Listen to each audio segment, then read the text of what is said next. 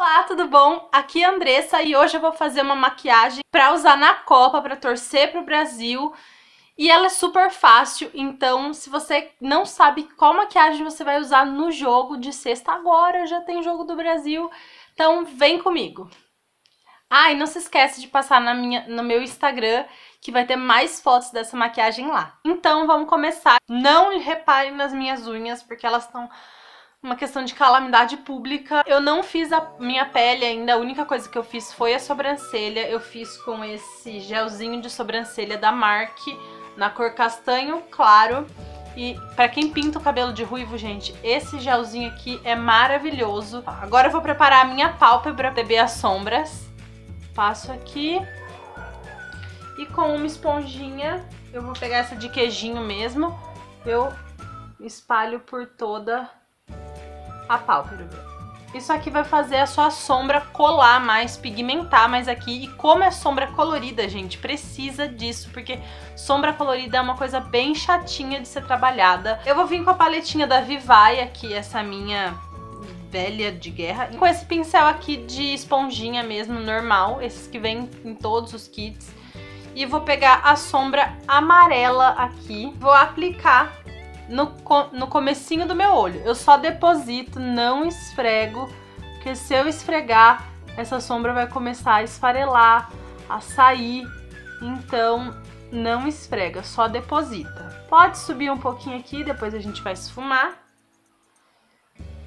E vai colocando cor, até você ver que tá a cor que você quis. Depois eu venho com o mesmo pincel, só que do outro lado a gente usa o amarelo, aqui eu vou usar o verde e vou pegar o verde da minha paleta. Eu tô usando essa paleta aqui porque ela tem todos os tons que a gente vai usar, o verde, o amarelo e o azul, então já vou usar essa mesmo. Venho aqui no comecinho do amarelo e deposito. Esse verde aqui já parece que vai dar mais futuro, né?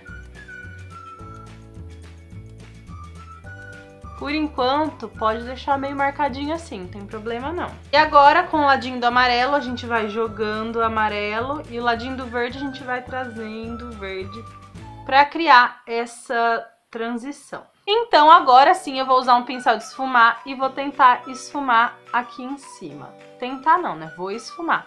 Não esfuma muito, só para parar a marcação. Se precisar, volta com verde, volta com amarelo e vai fazendo a transição. Agora com um outro pincelzinho de esfumar, eu vou vir no azul dessa paleta aqui, vou pegar um pouquinho, tirar o excesso, pôr aqui bem no finalzinho e vou voltar com mais um pouquinho e assim eu vou construindo a cor e quando eu achar que deu essa cor, eu esfumo pode trazendo para cima no côncavo.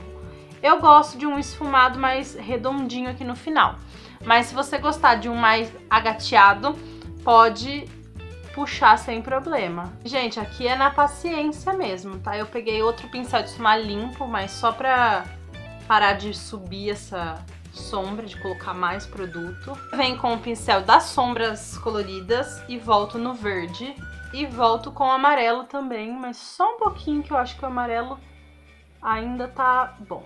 E quando você achar que os dois olhos já estão bem parecidos, bem iguais, a gente já pode acabar de esfumar todo esse rolê aqui. Vai fazer um delineado. Eu não ia fazer delineado nessa maquiagem, mas eu acho que delineado fica muito lindo como acabamento. Então eu não resisti e vou fazer sim. E pra gente limpar aqui embaixo o que caiu e dar um acabamento melhor no delineado, eu vou pegar um lenço umedecido desses de bebê mesmo, de neném, e vou passar aqui embaixo.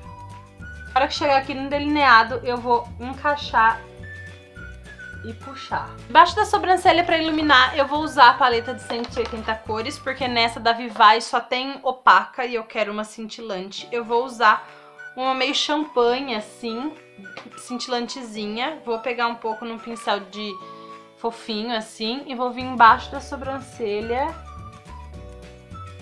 e passar. Vou voltar com aquele pincel fofo de sumar sem nada e vou esfumar todo mundo aqui. Para os olhos são isso. Eu vou fazer minha pele e colar cílios postiço e já volto. terminar os olhos aqui com vocês, eu vou passar a máscara de cílios. Essa é a Poder Alongador da Luisance.